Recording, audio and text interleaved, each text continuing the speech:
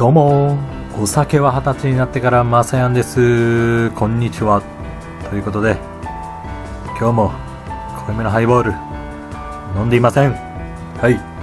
今日はねまだお昼ですしえー、仕事がね今日は夜からなんでお酒は我慢しております。えーと私ですが今は東郷大都督。これでね土地5、6をね取って勢力を上げております。でもうちょっとレベル30ですね。もう少しレベル30でございます。で周囲。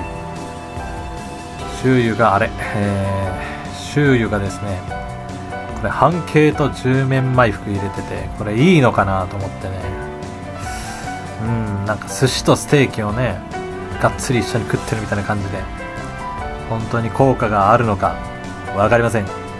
また強い人に聞きたいと思っております。まあね弱いってことはないと思いますけどはい。とりあえずこの舞台でねレベル6の土地抜いてますし2部隊ね。まだまだねいい組み合わせはあると思います。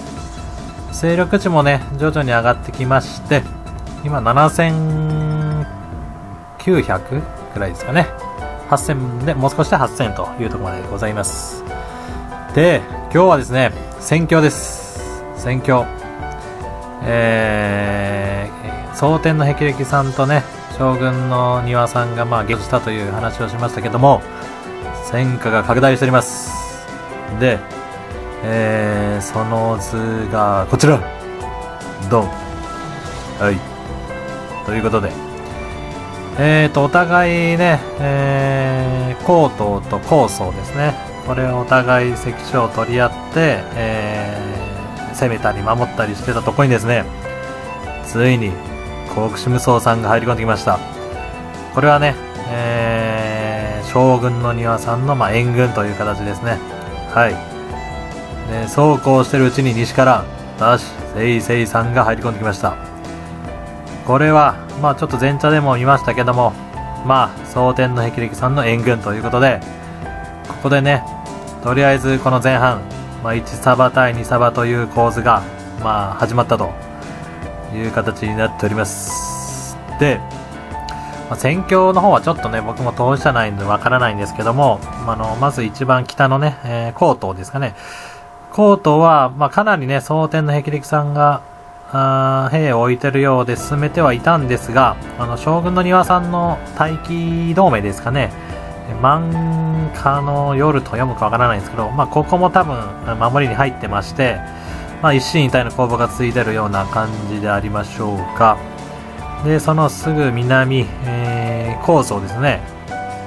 高層は、えー、こちらも将軍の庭さんがまあガンガン攻めてはいたんですが蒼天さんがまあなんとか守りながらここもねまあ一進一退という形で見て良いのではないでしょうか。ちょっと分かりませんけどね。実際どっちかが押しまくってるのかもしれませんけど。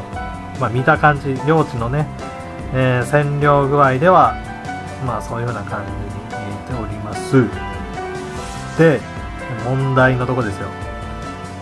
問題の一番下、えー、国士無双さんが言ったこれは関東と読むんでしょうか？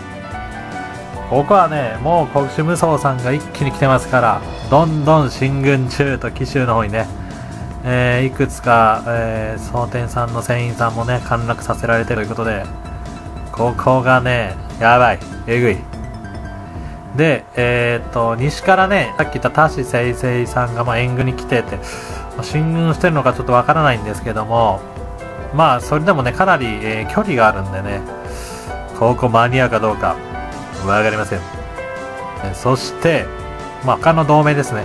ニサバの大きい、えー、天下不武さんですね。天下不武さんは今、揚州内が、まあ、大混乱というか、まあね、混沌としてる中、やっぱりいろんな同盟が入り込むので、なかなかね、動けないと。まあ、動いてしまったら、留守中にね、攻められちゃったらっていうのもあるし、ちょっと天下不武さんはどうなるかわかんない。そして、我が、名夜の森と、ナイトウォッチ。これはどうするのか教えません。はい。ということで、まあ、兵州に行くのか、駅州に行くのか、はたまたいきなり資源州の要州に入るのか、それとももう少しね静観して、えー、領収内を固めていくのかそれはねまたのお楽しみということでお願いしますただこの戦争もかなり大きいものでねもう1様と2様の上位同盟がいきなりぶつかってますのでいやーこれはねどどっちかが滅ぶまでやるのか分かりませんけど本当ねこの2シーズンのね流れを大きく左右する大戦争となっているということは間違いありません。ただねあの、まあ、勢力値とか船員数だけじゃ強さは測れなくていわゆるまあアクティブ数ですね。どれだけの人間があの最前線で動いてるかということとあとはその稼働時間ですね。昨日福士無双さんかな？あの関所攻め多分もう朝の何時かな？4時とかだったかな？時間見たんですけどだいぶ早い時間に言ってましたね。